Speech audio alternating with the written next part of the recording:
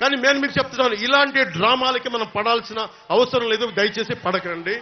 నిరుద్వందంగా దాన్ని తీసి పక్కన పెట్టండి. అరే ఇద్దరు అక్క చెల్లెళ్ళు ఇద్దరు చెల్లెళ్ళు సొంత చెల్లెళ్ళు. అరే మా నాన్నగారిని చంపేశారు మా చిన్నాయిని చంపేశాడంటే అడ్డగోలుగా బద్దలు కొట్టి కత్తితో పొడిచి పొడిచి పొడిచి చంపితే అందరూ గుండి పొడిచి పడిపోయాడండి గుండి పొడిచి పడిపోయింది వీళ్ళ కథలు మనం ఎలా నమ్ముతాం?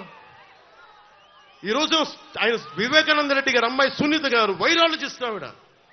అమెరికాలో చదువుకున్న వ్యక్తి వైరాలజిస్ట్.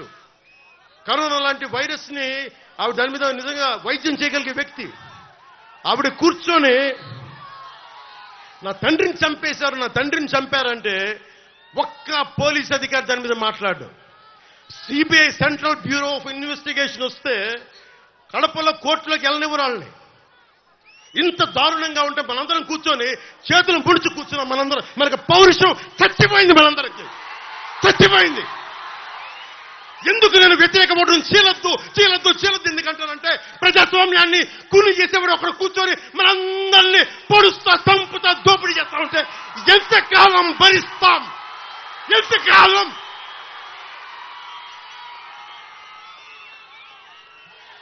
సుగాలి ప్రీతి పద్నాలుగేళ్ళ బిడ్డని స్కూల్కి పది మందిని నాశనం చేస్తే దాన్ని పట్టించుకోడు ఎవడు జగన్మోహన్కి బొక్క పడితే చిన్న గులకరాయి పడితే రాష్ట్రం అంతా ఊగిపోద్ది.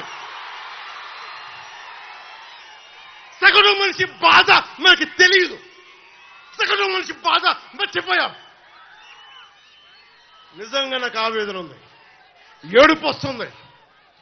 తప్పు జగన్మోహన్ రెడ్డి కాదు మనదే మనకు పౌరుషం చచ్చిపోయింది.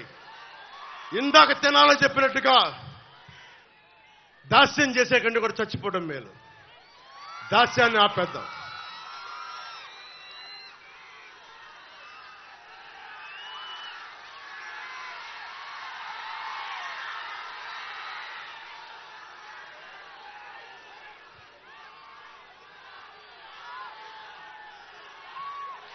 I don't want to be politically right.